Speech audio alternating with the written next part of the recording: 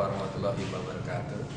Saya Iwan Suroto, saya bekerja di salah satu BUMN PT Taspen Persero, jabatan saya Wakil Kepala Cabang Utama Makassar.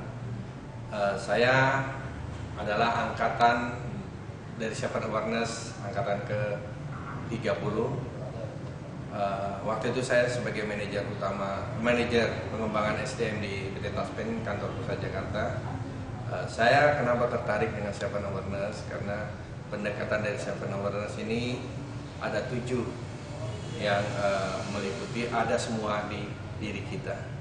Nah dari Siapan Awareness ini saya merasa banyak sekali uh, manfaat yang saya dapatkan, terutama waktu saya menjabat menjadi manajer pengembangan SDM itu apa yang tujuh-tujuhnya itu semua telah saya terapkan di kantor saya maupun di kerjaan saya. Nah sekarang saya berada di saya dipindah ke kantor cabang utama Makassar. Ini akan saya juga terapkan kepada karyawan kami di kantor cabang utama Makassar yang uh, insya Allah di tahun ini mungkin habis lebaran kami akan melakukan training juga ada seven awareness.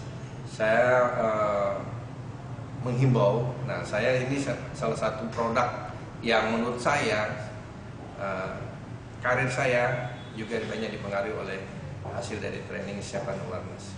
Oleh sebab itu uh, saya juga uh, menghimbau kepada bapak-bapak, ibu-ibu semua yang ada di sini uh, training siapan awareness sangat bermanfaat kepada karir kita, kepada kerjaan kita dan kepada anak buah kita semua saya pikir itu mudah-mudahan apa yang Bapak Ibu hari ini ikutin akan sangat bermanfaat.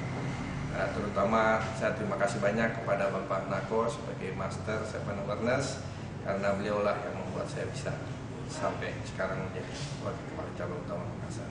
Terima kasih. Wabil taufiq. Wassalamualaikum warahmatullahi wabarakatuh.